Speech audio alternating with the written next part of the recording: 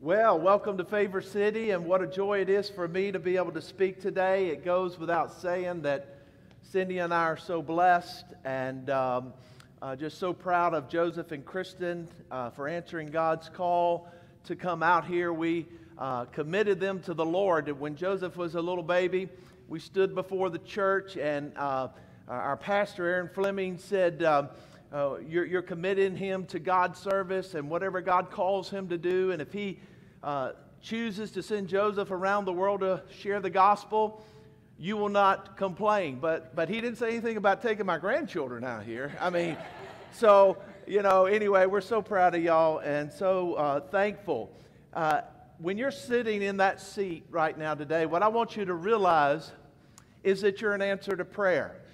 That folks back in Alabama, as Joseph began to share the vision, to plant a church out here and to begin to see what that would look like, people in Alabama begin to pray and begin to ask God to produce uh, uh, other believers that would come alongside them with this vision to come and reach and disciple the lost. So know today that you are an answer to that prayer. Those that you have come to faith and have been baptized and, and begin your walk with Jesus, you're an answer to prayers of people in Alabama. And, today we're going to talk about being strengthened by God's word. And, and, and Joseph has given me a passage in Psalm 119. And this series is out of Psalm 119. And we're going to be in Psalm 119 in some select passage and verses today. But also, if you're, you're following along in a hard copy of God's Word, I want you to also thumbnail. We're going to be in John 15 some. And, and what we're going to do is we uh, talk in uh, Psalm 119 about being strengthened with God's Word we're going to uh, move forward about 500 years later when Jesus is in the garden. And I want to set this up before I read uh, Psalm 119 in these select verses. Because Jesus is in the garden and he is uh, talking to his disciples. He knows within a matter of hours he's fixing to be put on trial. He's being uh, uh, put on trial for something he didn't do wrong. He's being put on trial for our sin. And Jesus has a few intimate moments with his disciples before he is dragged away to be crucified, to be murdered for our sins on the cross. And in this time, he gives a game plan to his disciples that the world will know that he is the living Son of God. And, and so we're going to take the verses in Psalm 119, and Jesus answers the questions that the psalmist raises in Psalm 119. So let's, let's begin with Psalm 119, verse 25. My soul clings to dust. Give me life according to your word. When I told you of my ways, you answered me. Teach me your statutes. Make me understand the way of your precepts, and I will meditate on your wondrous works. My soul melts away with sorrow strengthen me according to your word. Put false ways away from me and graciously teach me your law. I have chosen the way of faithfulness. I have set your rules before me. I cling to your testimonies, O Lord. Let me not be put to shame. I will run in the way of your commandments when you enlarge my heart. And verse 37 Turn my eyes from looking at worthless things and give me life in your ways. Father, as we have read your word this morning, and we have proclaimed that through your resurrection power, you have given us the gift of the Holy Spirit, who is our teacher. May you open our eyes today to the strength that we can have from your word. May you use this passage in our life to strengthen us in Jesus' name. Amen. Uh, Cindy, if you would bring me a football in the South, uh, uh, particularly, we, we kind of worship this game. In, in, in Alabama, uh, football is 365 days a year. And I had a dream uh, one day to, to either play for Auburn or Alabama. And, and the neat thing about football is there's so many great spiritual illustrations in football. And, and the neat thing about football, as you know, is that this ball was designed with a purpose, right? It was designed to play football. This ball right here would be terrible to play volleyball with. It, it just wouldn't work to play volleyball. It was designed for, for uh, football. it would be a terrible soccer ball. In fact, there's only two players that can use their foot on this ball during the game the kicker and the punter. And so, really, I don't know why it's called football, but it is, it is for the rest of the world, it is American football. But this ball is a great game, but is a terrible God. And many of us worship uh, the people that play football. But nonetheless, this ball was designed around a spiritual law, around a physical law. And, and that law is gravity. We know that as the game progressed, it became more and more aerodynamic. But this ball is subject to the law of gravity. And, and it was designed for that. And this ball in the hands of a great quarterback can even defy gravity a little bit more than somebody else. And I want to say to you today that your life was created with a purpose. And when you get out of purpose, you're like someone, uh, like a football that's being played in another game. You were created to be loved by God and to have a relationship with God and to be in fellowship with God. He caught it. All right, here we go. You were call, called by God to be in a personal relationship with Him, for Him to pour His love into your heart every day and to be in fellowship with Him. The next thing we understand is that God calls us into this relationship to send us out. You know, um, if you have uh, Raiders season tickets, you paid a fortune for them. I mean, you, you, you, you paid a lot of money. You invested a lot. And, at Auburn and Alabama, if you have season tickets, there's a waiting list.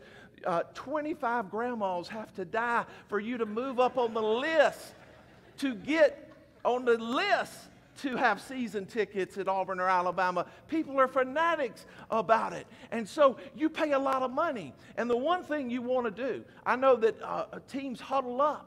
And in, in, defense, you know, you huddle up and you get the signal from the sideline and you call the defense and you break the huddle.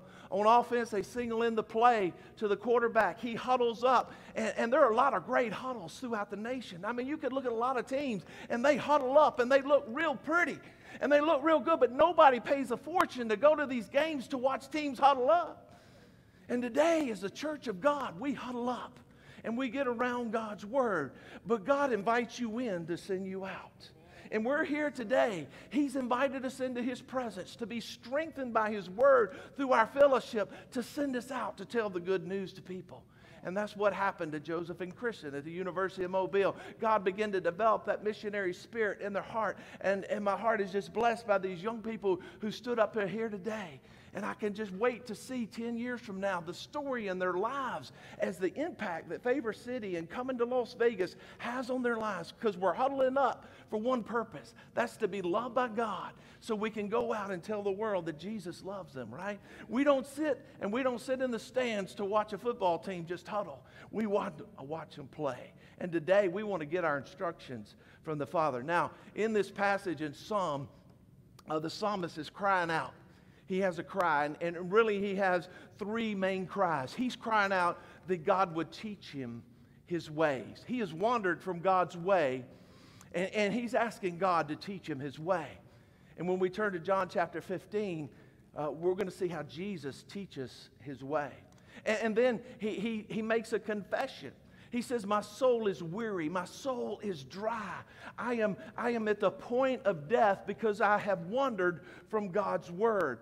Uh, growing up, I had uh, four uh, brothers. I was the smallest of four brothers. I was the third uh, son. In 1971, I was 11 years old, and I was headed to Ladd Memorial Stadium uh, for a big game in the city. It was a huge game. It was Davidson, where my brothers played, two of my older brothers played, and the stadium was going to be packed. The stadium holds 40,000 at Ladd Stadium. It's a big, old stadium that high schools gather in.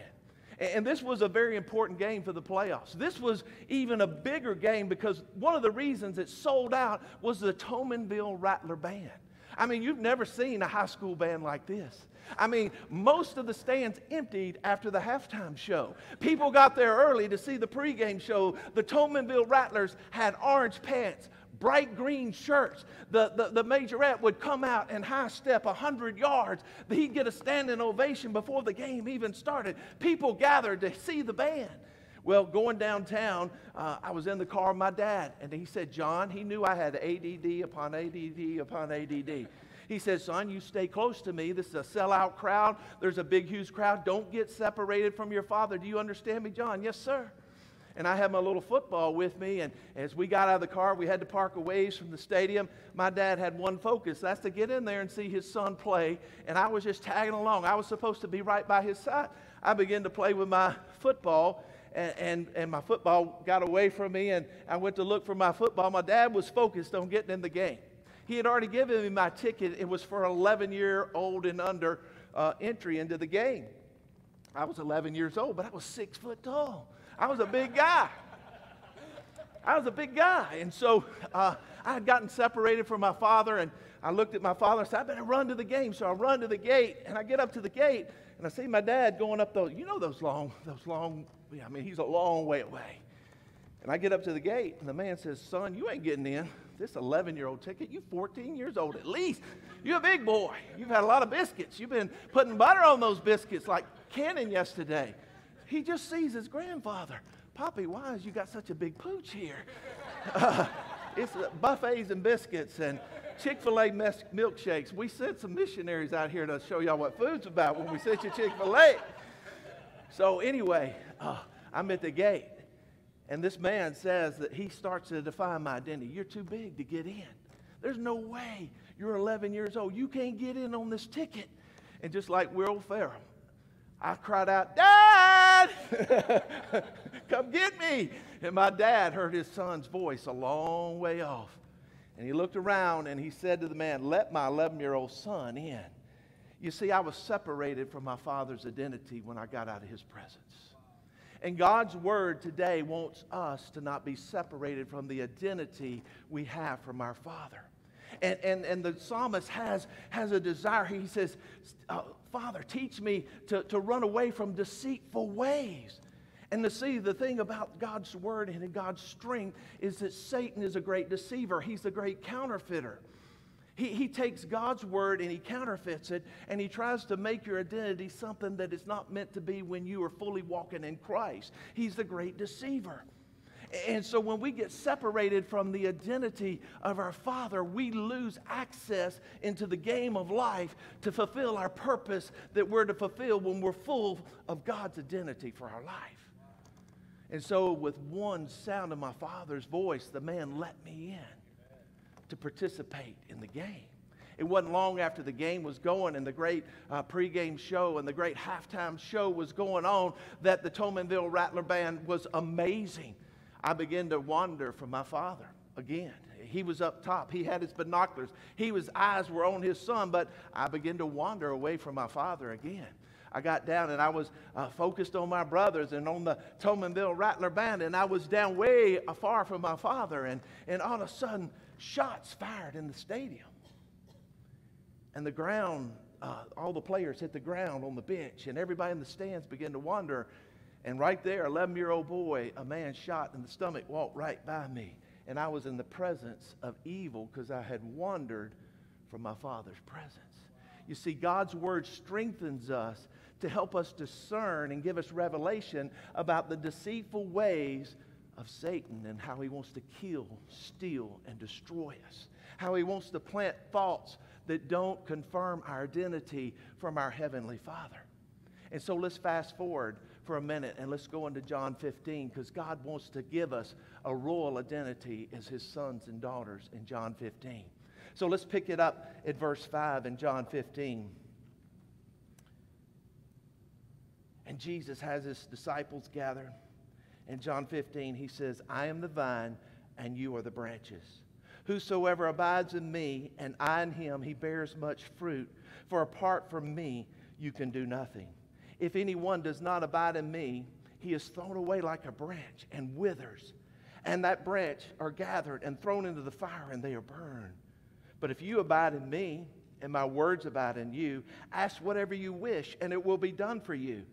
By this my Father is glorified, that you bear much fruit and show yourselves to be my disciples. You see, God gives us a game plan here to seal our identity in Him.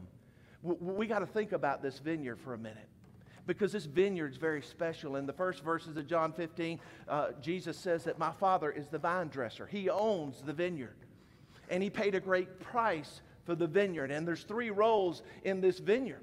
Uh, there's the Father who is the vine dresser who prunes the branches to make it even more fruitful. There's the true vine, Jesus Christ, that gives life to the branches. And Jesus says, I am the vine and you are the branches. You got to understand your role.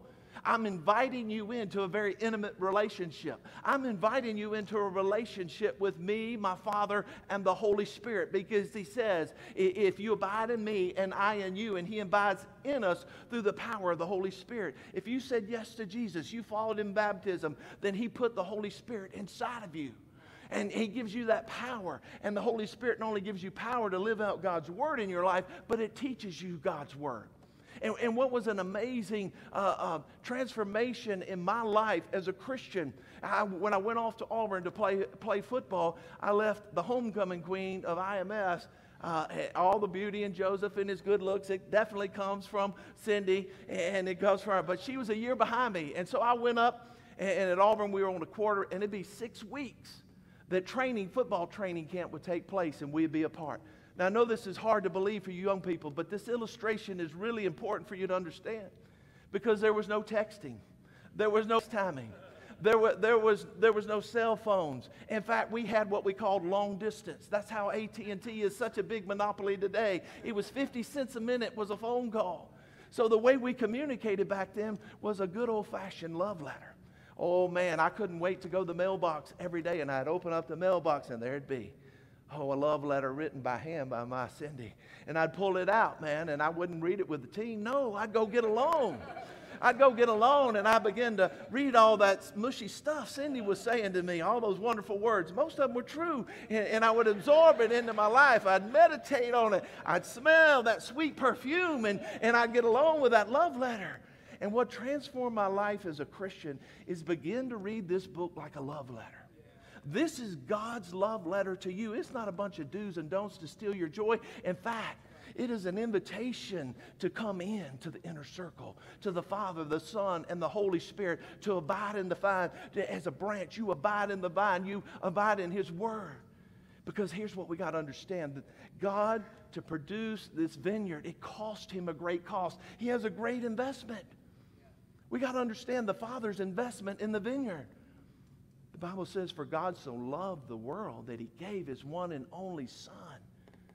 You see, for there to be a vineyard, for there to be a vine, God the Father, before the creation of the world, it says that Jesus, it was determined that Jesus would be the slain Lamb of God before the foundation of the world. Can you imagine that meeting in heaven? As the Father, the Son, and the Holy Spirit said, we want to create man, but we know that man is going to rebel against us and to renew them back to fellowship, to renew them back to their purpose, to renew them back to their royal identity in our presence. That one day, my son Jesus, I'll have to send him to earth and I'll allow him to be born. And I'll allow him not only to be born into a time and place where crucifixion was the way of execution, you, you, see, the father decided that I'll allow my son to be born into a Roman culture where crucifixion was the, the, the way of execution. That needs to resonate in our hearts today because Jesus could have been the sacrificial Lamb of God through a less brutal death. But God said, no, we're going to enter that brutal time. We're going to enter that brutal time because I, I, want the branches to know how much I love them. I want my children to know how much I love them, but I also want them to understand the decree in which I hate their separation and their sin. And so God decreed to the Son, Are you in on this? I said, Yeah, let's do it. So God creates man in a garden, right? He gives them everything they need. He walks with them day by day. He gives them all this beautiful food to eat, and he's fellowshipping with them. And man chooses to sin and go on the one fruit that they couldn't eat, and they rebel against God. And then God begins to chase down mankind through the ages. He, he parts the Red Sea. He opens uh, uh, their eyes to plagues and He gets them free from slavery. And, and God blesses them uh, with manna from heaven. And He does all these miracles throughout the ages. And man will serve God for a while. And then they get comfortable in their blessings and they fall away from God. And then God says, It's time, son. It's time, son. And he goes and he's not born on a royal palace with nurses and help. He's born in a cow stall. He comes to this earth and he has a humble birth, the King of Kings, the Lord of Lords, the one that spoke and filled the galaxies with sky and the sky. And this Jesus is born in this cow stall and he comes to live a humble, uh, gracious life. The King of Kings and the Lord of Lords, he did that for you. You see, there's great cost to this vineyard. And that's why the Father says that if a branch is not bearing fruit, if it's not abiding in my love, it can't live this life of fruitfulness that I want it to. It's going to wither up and die. And just like the psalmist is saying, My soul is weary because I'm not walking in your ways, God is providing a way of victory through resurrection power. Because He's saying, You're going to abide in me because I am in you by the power of the Holy Spirit. And my Holy Spirit desires to be in fellowship with me and my Father. And when we allow the Holy Spirit to read God's word like a love letter, then we begin to absorb His word into our heart. And what it does, it activates the Spirit of God that He puts in us. As you read this word, and if you're having trouble not being filled with the Spirit and not walking in the Spirit, it's because we don't take time to read His word. And when we read His word, it activates the Spirit of God in our heart. It says it like this in Romans it says, uh, I beseech you, therefore, brothers, by the mercies of God that you become a living sacrifice, holy and pleasing unto your Savior. And do not be conformed to this world, but be transformed in your thinking, that you might know what the perfect and pleasing will of God is. And so, as we begin to read God's word as a love letter, it strengthens us through redemption. For God so loved the world that he gave his one and only Son. For God did not send his Son in the world to condemn the world, but that the world through him might have eternal life. It's good news that God is redeeming this relationship. And so, as we go on in this garden, we find something out about God's love. Eh, there's a great cost to the Father. But the Son enters the picture, and there's a great cost we know to the Son. He's the one that's going to have to bear our sins. Uh, the Bible says it this way that while we were yet sinners, Christ died for us. That while we were unrighteous, we might become the righteousness of God through the blood of Jesus Christ. You, you see, both the Father and the Son have a great cost in this vineyard. That they're laying it on the line. And so we get to what I believe to be one of the most powerful verses in John 9, John 15, 9. Jesus says it this way As the Father has loved me, so I have loved you. Abide in my love. I just want you to think about that for a second. As the Father has loved me, so I have loved you. He's saying to Peter, James, and John, Peter's fixing to deny him three times and turn his back on him. The rest of the disciples are fixing to run. They're fixing to get so far from the fight, nobody sees them. They're, they're so scared of their lives once they take and drag you. They're a bunch of cowards. And yet Jesus says to a bunch of unperfect people with the same love that God loves me as his perfect son, I'm loving you as imperfect people. I'm pouring my Father's perfect love into his perfect son, into a bunch of unperfect people. Now you remain in that love. Don't look to the world for love. Don't look to this world for satisfaction. Don't look for uh, dead ways of, uh, of bringing life to your soul. Your life is found in me, and my love is found in you. God's unconditional redemptive love is that we are seen as perfect in Christ. Man, what a deal. What a deal that we should abide in the vine and his acceptance, and his love in our lives. And so the psalmist in 119, he says, Lord, teach me your commands that I might walk in them. And it was really impossible, humanly speaking, until the Holy Spirit came upon new believers to do this. And here's the command of God. We get it right here. He says, If you keep my commands, you'll abide in my love, just as I've kept my Father's command and abide in his love. These things I've spoken to you that my joy may be in you and that your joy may be full. This is my command to love each other as I've loved you. So here's the command of God. The command of God is He invites us in to this intimate fellowship to be loved as if we're perfect because we're redeemed by the shed blood of Jesus Christ. It washes all our sins away, past, present, and future. And we come into his presence and he blesses us with a new identity as his chosen. And we are holy and blameless in his sight. And we're blessed, as it says in Ephesians, with every spiritual blessing in Christ Jesus. You got Jesus, you got it all. You get the Holy Spirit. The question is, you need to daily give all of you to the Holy Spirit. And as you learn to yield all of your life to the Holy Spirit, it's kind of like at home, you got a room. And, you, and, you, and Jesus is knocking on the door, says in Revelation 3.13. He said, if anyone will open the door, I'm knocking. I'll come in and I'll fellowship and I'll dine with him. And you say, yes, Jesus, come in. You can come in my living room. It's looking good. It's all good. It's got, you got those movies off there. All right, Jesus, come on in here. I've cleaned up this room. I, I've cleaned, but this back closet back here, nope, nope, God, no, can't go in there. It's really too dirty. You, you, you can come in all these other rooms, God, but back there, you know what? God knows it all. He died for it all. There ain't a messy room you got He doesn't want to enter in and clean it up. He's, he's already knocking on your heart's door when you're a sinner, when every room's a mess. He's saying, I'll come in every room, I'll clean it up. There's no surprises with God. You can't uh, sin so great that He isn't willing to come in and clean it up. He died for it. He didn't want to waste His sacrifice. He's already laid down his life for you. Don't you think he wants to come in and fill every room of your heart with his Holy Spirit, with his presence? All you got to do is open the door. You've got to abide in him and abide in his word. And he says this He says, If you'll abide in me and my words abide in you, you can ask what you want and I'll do it for you. Now, now that's not health, wealth, and prosperity. That's not that F1 Ford 150 I want. You know, that's not what that means. It means that I'll have the desires that Jesus has when I press into Him. When I take hold of the invitation to be in His presence, He will fill me with good things that will fill and flood my soul. And so He tells us, He says, I want you to love other people as I have loved you. And folks, that's why we're here. We're here to love one another with grace and mercy. We have received God's mercy as believers. Mercy is God withholding what we justly deserve, which is separation from Him forever in hell. That's what we deserve. But God withholds that mercy and He pours His wrath on His Son at Calvary and He bleeds and He dies a death for us so that He could have mercy on us. And then He says this He, says, I'm not only going to have mercy on you by withholding what you justly deserve, I'm going to shower my grace on you that you might experience all my blessings. And see, grace is God's riches at Christ's expense.